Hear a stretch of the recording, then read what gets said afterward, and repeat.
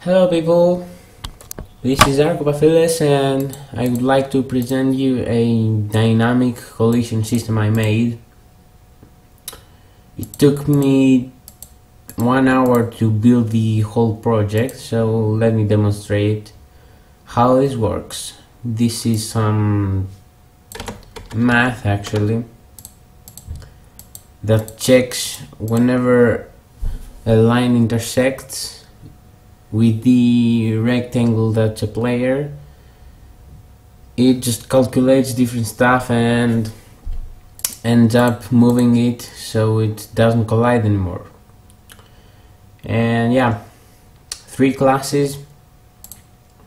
I believe it's here. Yeah test with a which is our main class line and box which are classes for lines and boxes.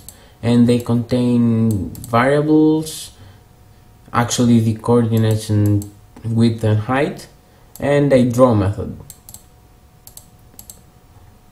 In our main loop we have the color and depth buffer clear a collision detection input render and yeah update.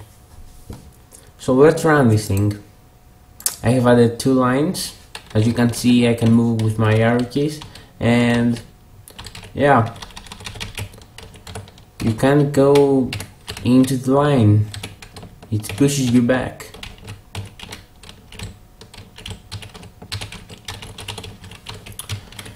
There's only one restrict uh, restriction that either the line's width need to needs to be one or the height needs to be one else it won't work. So yeah. What other thing? I believe that if we change this and put it right there it's gonna work better. Yeah. Can you see that? Yeah it's much better now so um, I'm gonna upload all this code to github and I will see you next time